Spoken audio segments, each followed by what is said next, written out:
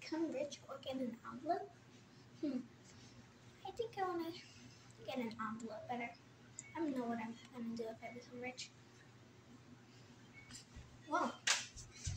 I just fell out of the sky. How does it work?